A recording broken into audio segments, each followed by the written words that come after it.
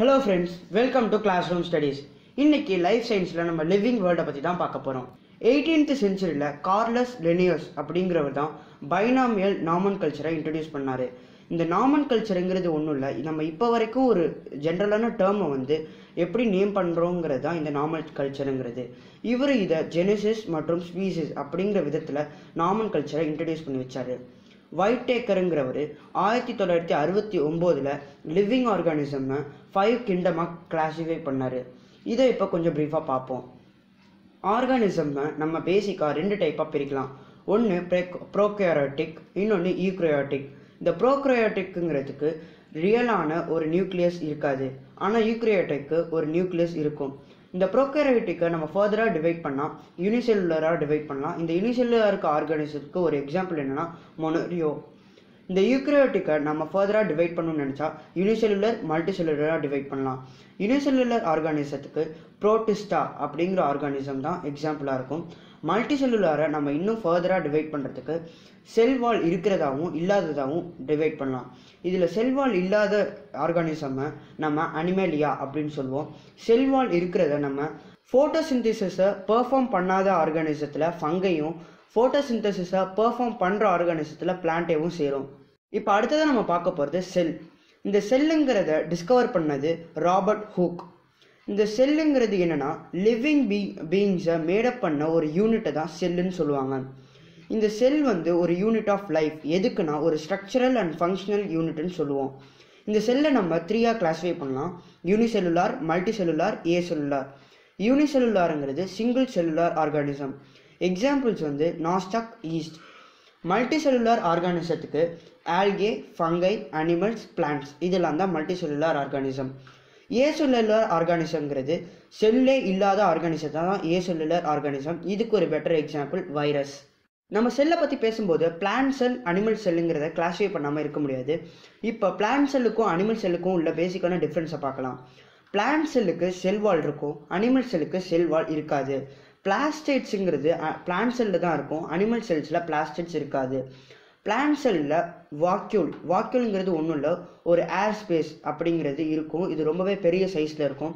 ஆனால் அனிமல் செல்லில் ரொம்பவே சின்னதாகவும் அதே இல்லைன்னா வாக்யூல் இல்லாமல் கூட இருக்கலாம். ஒரு செல் ஃபங்க்ஷன் ஆகிறதுக்கு செல் ஆர்கனைல்ஸுங்கிறது ரொம்பவே முக்கியமான விஷயம். செல் ஆர்கனைல்ஸை நம்ம பேசிக்காக செவனாக கிளாஸிஃபை பண்ணிக்கலாம். இப்போ இதை ஒவ்வொன்றுத்தையும் டீட்டெயிலாக பார்ப்போம். ஃபஸ்ட்டு பார்க்க போகிறது மைட்டோகாண்ட்ரியா இதை டிஸ்கவர் பண்ணது ஆல்ட்மேன் எயிட்டீன் நைன்ட்டியில் டிஸ்கவர் பண்ணியிருக்காரு. இது வந்து டபுள் மெம்பரின் என்வலப்பால் பவுண்ட் ஆயிருக்கும். இதில் வந்து லிப்பிட்ஸும் ப்ரோட்டீன்ஸும் இருக்கும். இந்த மைட்டோகான்ட்ரியாவை தான் நம்ம பவர் ஹவுஸ் ஆஃப் த செல்லுன்னு சொல்லுவோம். ஏன் இப்படி சொல்கிறோன்னா இந்த மைட்டோகான்ட்ரியா தான் அந்த செல்லுக்கு தேவையான ஹோல் பவரையும் சப்ளை பண்ணும். அடுத்ததாக எண்டோபிளாஸ்மிக் ரெட்டிகுலம் இதை வந்து ஆயிரத்தி தொள்ளாயிரத்தி நாற்பத்தஞ்சில் போர்ட்டர் அப்படிங்கிறவர் கண்டுபிடிச்சாரு.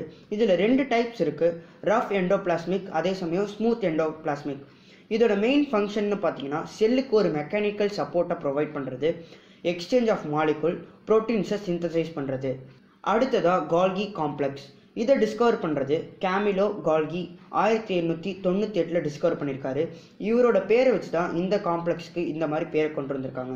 இதோட மெயின் ஃபங்க்ஷனுங்கிறது ப்ரோட்டீன்ஸை செக்ரீட் பண்ணுறதும் அதே சமயம் அந்த ப்ரோட்டீனை சேவ் பண்ணி ஸ்டோரேஜில் வச்சுக்கிறதும் தான் இது மட்டும் இல்லாமல் cell wall formation plasma formation lysosome formation இது எல்லாத்துக்கும் இந்த கால்கி காம்ப்ளெக்ஸ் தான் யூஸ் ஆகும்.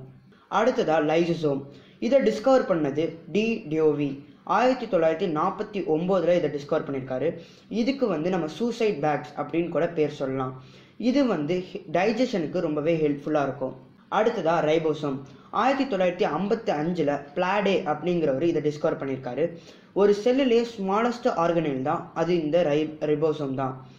இது வந்து எண்டோபிளாஸ்மிக் ரெட்டிகுலத்தோட அட்டாச் ஆயிருக்கும். இதோட மெயின் ஃபங்க்ஷன் வந்து ப்ரோட்டீனை சிந்தசைஸ் பண்ணுறது நியூக்ளியஸ் நியூக்ளியஸை டிஸ்கவர் பண்ணது ராபர்ட் ப்ரவுன் ஆயிரத்தி எண்ணூற்றி முப்பத்தி ஒன்றில் டிஸ்கவர் பண்ணியிருக்காரு. ஒரு செல்லோட லார்ஜஸ்ட் ஆர்கனைல்னால் அது இந்த நியூக்ளியஸ் தான். இதோட மெயின் ஃபங்க்ஷனுங்கிறது குரோமோசோன்ஸை கண்டெயின் பண்ணி வச்சுக்கிறது தான் நம்ம குரோமோசோன் பற்றி பேசும்போது டிஃப்ரெண்ட் கைண்ட் ஆஃப் ஆர்கனைசத்துக்கு டிஃப்ரெண்ட் நம்பர் ஆஃப் குரோமோசோன்ஸ் இருக்கும். அது சிலது இப்போ நம்ம பார்க்கலாம். ஒரு பீ பேண்ட்டுக்கு ஃபோர்டீன் நம்பர் ஆஃப் குரோமோசோன்ஸ் இருக்கும். சன்ஃப்ளவருக்கு தேர்ட்டி ஃபோர் அப்படியே இன்க்ரீஸ் ஆகிட்டே போயிட்டு இருக்கும்போது ஹியூமனுக்கு forty six number of chromosome இருக்கும். டாகுக்கு seventy eight number of chromosome இருக்குன்னு சொல்கிறாங்க அடுத்ததாக நம்ம பார்க்க போகிறது நியூக்ளிக் ஆசிட் இதுதான் ஒரு அனிமலோட இல்லை ஒரு பிளான்ட்டோட ஜெனட்டிக் இன்ஃபர்மேஷனை கண்டெயின் பண்ணி வச்சுருக்கோம். இது வந்து ஒரு லிவிங் ஆர்கானிசத்தோட டெவலப்பிங்க்கும் அதே சமயம் ஃபங்க்ஷனிங்க்கும் யூஸ் ஆகும். இந்த நியூக்ளிக் ஆசிட்ல நம்ம ரெண்டு டைப்பாக பிரிக்கலாம். நம்ம எல்லாருக்கும் தெரிஞ்ச மாதிரி டிஎன்ஏ அதே மாதிரி ஆர்என்ஏ டிஎன்ஏங்கிறத டிஆக்சி ரிபோ நியூக்ளிக் ஆசிட் அப்படின்னு சொல்லுவாங்க. இது வந்து லாங் பாலிமரோட ஒரு ரிப்பீட்டிங் யூனிட்டை அப்படின்னு சொல்லலாம். இதுக்கு வந்து இன்னொரு பேர் நியூக்ளியோடைட்ஸ் அப்படின்னு சொல்லுவாங்க. இதில் நாலு பேஸ் இருக்குது adenine guanine cytosine and thymine அடுத்ததாக வந்து ரிபோ நியூக்ளிக் ஆசிட் ஆர்என்ஏ இதுவும் டிஎன்ஏக்கு சிமிலராக தான் இருக்கும். ஆனால் இதில் என்ன ஒரு சேஞ்ச்னா தைமினுக்கு பதிலாக இதில் யுரேசில் அப்படிங்கிற காம்பவுண்ட் இருக்கும். நம்ம இது வரைக்கும் இந்த வீடியோவில் லிவிங் வேர்ல்டை பற்றி ரொம்பவே டீட்டெயிலாக பார்த்தோம். அடுத்த வீடியோவில் லைஃப் சயின்ஸ் பற்றி இன்னும் கொஞ்சம் டீட்டெயிலாக தெரிஞ்சுக்கலாம். Thank you take care